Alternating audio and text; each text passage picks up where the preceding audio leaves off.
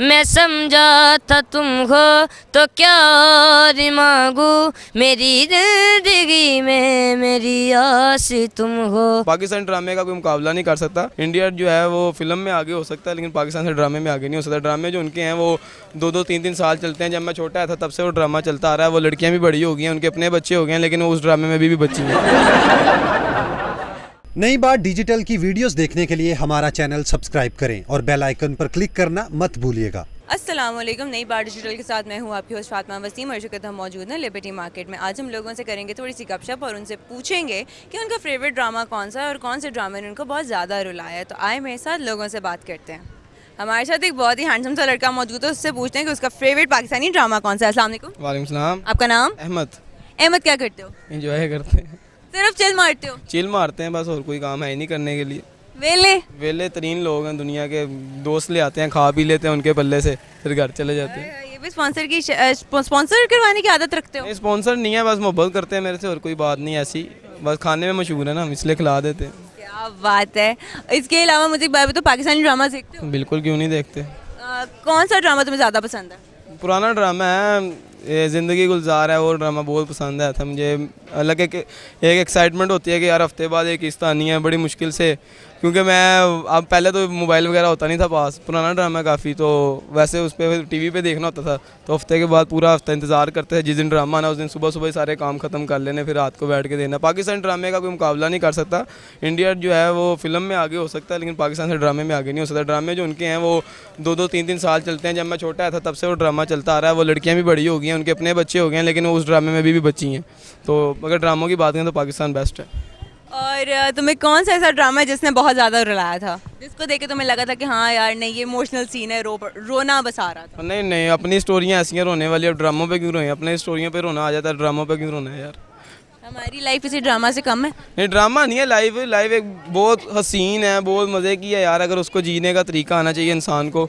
और मतलब लोगों की बातों पे गौर नहीं करना चाहिए, अपने आप में रहना चाहिए। हालाँकि इंसान जो है वो कहते रहेंगे, अगर आप अपने आप पे मतलब कि एक फोकस करते हैं, अपने आप पे एक वो है, आपको इतमाद है तो लोगों की बातें आपको ज़रा भी इफ़ेक्ट नहीं पहुँचाएँगी।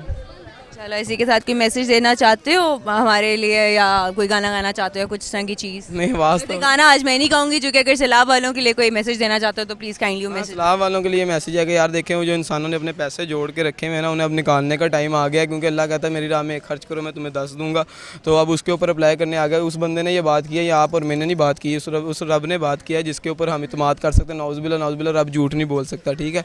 तो हम उस पर यकीन कर सकते हैं वो दस गुना लाजम देगा। और सबसे बड़ी बात जो है वो इंसानियत है, ना कि ये देखें कि मुसलमान को हम सपोर्ट कर रहे हैं। देखे जाए बाहर से भी बड़ी इमदाद आ रही है जो है, क्या कहते हैं क्रिश्चन हो गए हिंदू हो गए, सब इमदाद कर रहे हैं। तो यार हर बंदे को इसमें बढ़ चढ़ के हिस्सा लेना चाहिए, क्योंकि इस टाइम वो जो मुश्किल का वक्त है, वो बहुत ज़्यादा हमारे मुल्क पर आ चुका है। तो हम अपने मुल्क को जितना हो सके सपोर्ट करें।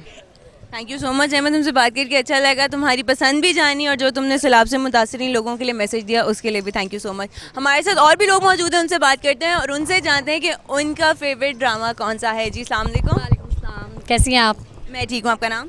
मेरा नाम सारिया अदनान है। क्या करती हैं? मैं हाउस वाइफ हूँ। हाउस वाइफ में अगर अपनी डेली रूटीन में देखा जाए बच्चे हैं? जी बिल्कुल माशाल्लाह मेरे दो बच्चे हैं। तो कैसे मैनेज करती हैं चीज़ों को? अ, बस मैनेज करना पड़ता है औरत मैनेज कर ही लेती हैं। चाहे वो एक वर्किंग लेडी है या हाउस वाइफ है है, मैनेज करना मुश्किल मुश्किल हो जाता है।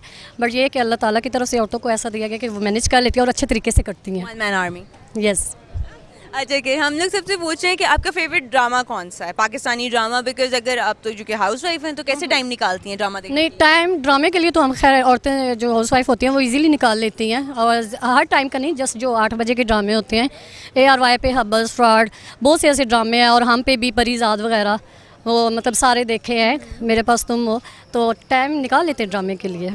मैंने आज नहीं निकाला क्योंकि हाउस वाइफ का मैंने सुना है ये होता है ना कि किचन में हांडी रखी हुई है ड्रामा देख रही है अच्छा फिर भूल गई है फिर भाग के जा रही है हांडी में चम्मच मिला रही है। पहले खाना बना लेते हैं क्योंकि हमें पता होता है कि आठ बजे ड्रामा लगना है तो फिर हम ईजी हो जाते हैं इस तरह। सही है। और डेली रूटीन में आप क्या करते हैं? डेली रूटीन में बच्चों को स्कूल ट्यूशंस घर के काम और बाहर शॉपिंग वगैरह करना बच्चों को भी बाहर लेके जाना वीकेंड पे तो बस यही मतलब रोज़ की रूटीन जैसे है। अच्छा कोई ऐसा ड्रामा जिसको देख के रोना आता हो? कोई ऐसा ड्रामा जिसको देख के बहुत इमोशनल किया और आपको रोना आया। ऐसा तो ऐसा कोई भी नहीं है लेकिन जो थोड़ा बहुत हुआ वो उसमें मेरे पास तुम हो उसमें जो है स्टोरी बहुत औसम थी और जो उसका करेक्टर था हमायूं सईद का वो बहुत अच्छा था। तो उसको देख के ज़रा उसकी जो है ना सीन पे जो उसके था उस पर ज़रा थोड़ा अपसेट हुई। गुजरते हुए मुझे एक बहुत सुरीली आवाज़ सुनने को मिली थी तो मैंने उस बच्चे को पकड़ा। अब मैं उससे बात करूँगी और जानने की कोशिश करूँगी कि उसे कौन सा ड्रामा पसंद था। तो जी सामने वालेकुम। सलाम आपका नाम? अली हसन। क्या करते हो? मैं मैट्रिक के पेपर दिए छुट्टी आई हूँ। मुझे ये बताओ कि पाकिस्तानी ड्रामे देखने का शौक रखते हो? फ़िलहाल कोई भी नहीं। क्यों? बस ऐसे ही। कभी नहीं देखा? कोई बैठे हुए भी नहीं देखा? इन्हीं की आएगी बारात टाइप या कोई इस तरह का? साइमा चौधरी कुछ भी नहीं देखा? नहीं वो देखे हैं। ये कैसी तेरी खुशगर्जी हो? एक वो है मेरे पास तुम। ये सारों के जबान पे यही दो नाम है मेरे पास तुम और कैसी तेरी खुद गर्जी तो इसी के साथ मुझे बताओ कि कौन से ड्रामे में ज़्यादा रोना आया? मुझे तो रोना नहीं आता। हाँ जी? रोना नहीं आता मुझे। रोना नहीं आता कितने स्ट्रॉन्ग हो के रोना ही अपना बंद कर दिया। अच्छा इसी बात पे फिर कोई गाना सुना दो। मोहब्बत की कहानी में कहाँ ये मोड़ी आती है कि जिनको दिल में रखते हैं, वही दिल तोड़ी जाते हैं। मोहब्बत की कहानी में कहाँ ये मोड़ी आती है कि जिनको दिल में रखते हैं वही दिल तोड़ी जाते हैं और भी सुना दो बहुत अच्छी आवाज़ है तुम्हारी प्लीज़ और थोड़ा सा सुना दो फिर कभी नहीं नहीं अभी फिर कभी पता नहीं मैं आती हूँ कि नहीं आती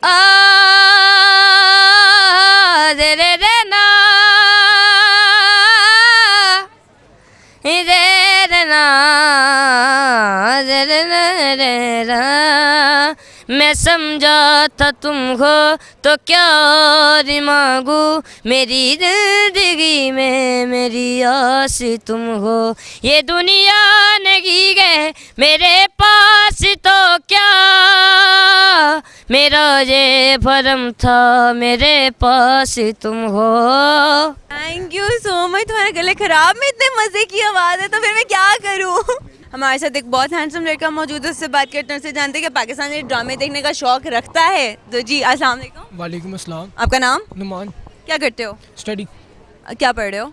फ़र्स्ट ईयर में हूँ अभी फ़िलहाल तो इंजीनियरिंग करनी है इंशाल्लाह। इंशाल्लाह। उसके अलावा कोई साइड बिज़नेस आजकल सारे यूट्यूब बहुत चला रहे हैं। आप नहीं चला रहे नहीं नहीं अल्लाह का शुक्र है अपना बिज़नेस है। ओके okay, तो बिज़नेस मैन है अभी से तो फ़र्स्ट ईयर के बाद पता नहीं और क्या क्या करेंगे। इंजीनियरिंग करनी है जनाब ने। अच्छा मुझे एक बात बताओ। नुमान कि आप अपनी डेली रूटीन में से टाइम निकाल के पाकिस्तानी ड्रामा देखने का शौक रखते हैं? जी। तो कौन सा ड्रामा ज़्यादा अच्छा, अच्छा लगता है? कैसी तेरी खुद गर्जी नारिश तैमूर। दानिश तैमूर ब्रांड हो चुका है वो तो? वो तो है वाकई बहुत बड़ा ब्रांड मुझे दीवानगी से बहुत पसंद है। दीवानगी में तो उसने एंड कर दिया था उसके अलावा ये जो कैसी तेरी खुद गर्जी है इसमें तो वो बहुत ही ज़्यादा आउटस्टैंडिंग गार्ड है। बस फ़िलहाल तो ड्रामा यही मुझे पसंद है। इससे पहले एक आया था ड्रामा मेरे पास तुम हो। बस वो था और अब ये आ गया। तो ऐसे ही और ड्रामे आते रहेंगे ये पाकिस्तान की जो इंडस्ट्री है वो बहुत ज़्यादा हाई होती जा रही है। तो अब बाकी बाकी तो इंडिया अगर इंडिया देखा जाए तो इंडिया तो मूवीज़ में आता है और पाकिस्तान देखो तो ड्रामों में आता है। बस ये है कि पाकिस्तान में से भी कोई एक ऐसी मूवी बननी चाहिए इंडस्ट्री इंडस्ट्री बननी चाहिए। अगर देखा जाए तो अगर हम बना लेंगे तो हमारा भी जो मुल्क है वो इंडस्ट्री में बहुत ज़्यादा ऊपर चला जाएगा। अभी तो फ़िलहाल हम ड्रामों की इंडस्ट्री में हैं, ड्रामों की इंडस्ट्री इंडिया में क्या हर तरह हर मुल्क में देखी जाती है और इसकी बहुत ज़्यादा बहुत बड़ी टी आर पी है एक तो। दानिश तैमूर बहुत ही ज़्यादा एक जो कहते हैं ना ब्रांड ब्रांड से भी बढ़ के वो एक माना जाता है एक। और इसके अलावा जो इससे पहले कोई ऐसा ड्रामा आया जिसको देख के लगा कि नहीं यार मुझे इमोशनल कर रहा है मुझे रोना आ रहा है? मेरे पास तुम हो, मैंने आपको पहले से वही तो बताया। लेकिन मैं रोने की बात तो पूछूँ ना रोए किस पे फूट फूट के थे? ऐसे लगा था कि अपनी स्टोरी है। नहीं नहीं मेरे पास वो मुझे वो पसंद है जब वो डोर से ऐसे एंटर हो रही है और वो आगे बैठा हो और उसे कह रहा हो क्या वो तुम उसकी हो? मेरी नहीं चार चालीस करोड़ आई थिंक उसको कहा था। तो जिसने वो रिजेक्ट किया था मुझे वो सीन उसका देखने का बहुत ही ज़्यादा मज़ा आया था जिसमें वो अपनी बेगम को कह रहा था कि अब तुम किसी और की मेरी नहीं। तो बस मुझे वो उसका वो टेक आउटस्टैंडिंग लगा और फैबुलस लगा और जिसको मैं बार बार देखूँ ना वो ऐसे ही है कि अगर किसी की याद हो और वो इंसान रो रहा हो क्या उसकी फीलिंग गुजरती है मुझे पता है।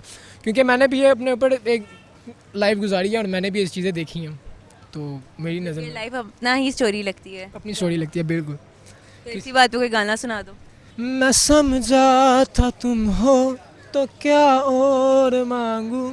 मेरी ज़िंदगी में मेरी आस तुम हो। ये दुनिया नहीं है मेरे पास तो क्या? मेरा ये बरम था मेरे पास तुम हो। Thank you thank you so much लोगों से बात करके अच्छा लगा और उनसे ये जान के भी अच्छा लगा कि वो पाकिस्तानी ड्रामे देखने के लिए अपना टाइम ज़रूर निकालते हैं, काफ़ी ड्रामाज देखते हैं। मैंने जो ड्रामा देखा था दैट वाज एनी क्या आएगी बारात जो कि मुझे ये फ़नी सीरीज़ सीरियल्स देखना ज़्यादा पसंद है। बनस्बत इसके कि मैं कोई इमोशनल ड्रामा देख के रहूँ, जो कि मेरी अपनी ज़िंदगी बहुत बड़ी जो है ना, वो एक फ़िल्म है। I would consider to a drama but it's a film क्योंकि हम लोग प्रैक्टिकली वो सब कुछ मेरे पे इम्प्लीमेंट हो चुका हुआ है। सो so, इसी के साथ मैं हूँ आपकी मेज़बान फातिमा वसीम। मुझे इजाज़त दीजिए इंशाल्लाह जल्द हाजिर होंगी एक नए टॉपिक के साथ। तब तक के लिए मुझे खुदाफिज़